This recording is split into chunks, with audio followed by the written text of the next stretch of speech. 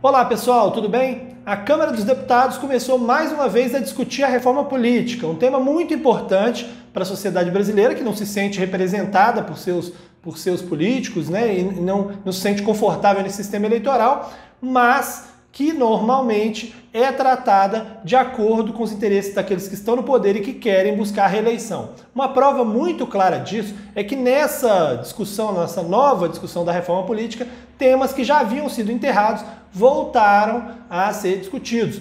Por exemplo, a questão das coligações para as eleições proporcionais. Nas últimas eleições para prefeito, a gente viu que não se pôde fazer coligação nas eleições proporcionais, ou seja, cada partido montou sua chapa e disputava dentro do sistema proporcional com a sua chapa. É, isso, é, de alguma forma, buscava fortalecer é, é os partidos né, e acabar com aquela troca de acordo nas eleições proporcionais em troca de apoio nas eleições majoritárias. Né? E nessa mesma linha, acabou-se, criou-se uma cláusula de barreira que tem vigorado nas últimas eleições, que é para reduzir o espaço daqueles partidos que não tiveram votos suficientes, não tiveram muitos votos nas eleições. Ou seja, havia uma necessidade, uma busca por diminuir o número de partidos e a cláusula de barreira foi, foi uma, uma alternativa encontrada. Agora, na discussão da reforma política, já tem gente querendo voltar com as coligações proporcionais, ou seja, sem nem mesmo numa eleição é, nacional ter sido testada, já estão querendo voltar com as, com as coligações proporcionais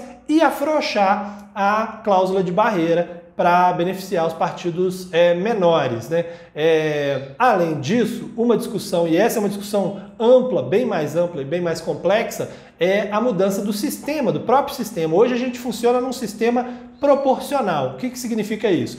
Os candidatos é, dentro dos partidos recebem os votos, assim como os partidos recebem os votos. Essa, essa votação de todos é somada para definir qual partido vai ter mais votos, é, mais vagas né, no, no, legislativo, e essa vaga é distribuída de acordo com a posição é, de, do número de votos dos candidatos dentro do partido. Então pode acontecer de um candidato com mais votos ficar de fora porque o partido dele não alcançou a quantidade suficiente de votos.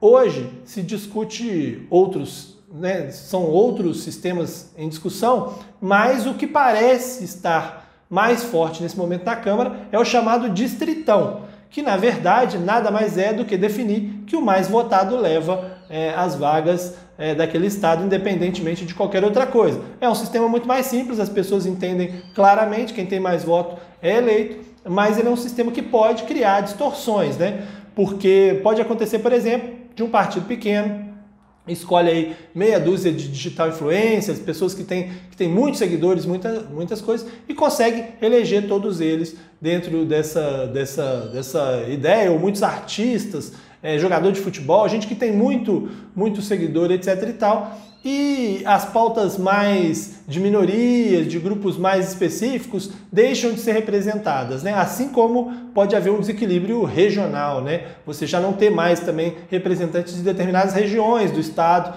porque há ali uma pulverização, etc e tal.